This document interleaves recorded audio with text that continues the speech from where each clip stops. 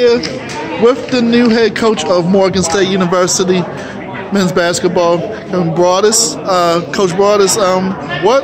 First of all, what what made you interested in coming to Morgan and? It's basketball. It's D1 basketball. Why not Morgan?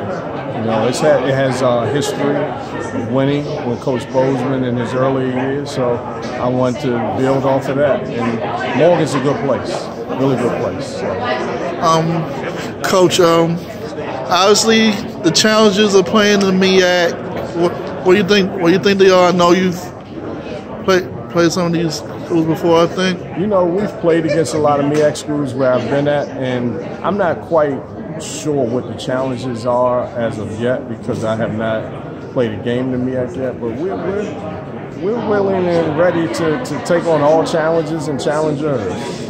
Um, Coach, talk about your non-conference schedule and uh, the, and the unique challenge that brings, and especially preparing you for the MEAC play. Yeah, we got Ohio State, we have Temple, LaSalle, GW, then we're playing in the Bahamas tournament we have a very competitive non-conference schedule. It will get us and make us prepared for for the MEAC. So it's very competitive, and we look forward to it. And our plans are to win those games. Um, Coach, um, talk about the play, the players you players you met, and and and all the new all the new players that came in. Who who right now has impressed you so far? And I think as a whole, the whole team has impressed me. Not one individual per se. The whole team, how we're gelling as a unit. You know, then we we have uh, all league player here today, Stanley Davis, and we have some newcomers, uh, Troy Baxter and Victor Okafor from BCCC. So we have a, a, good abundance of old and the new. So we look forward to gelling them those guys together real soon.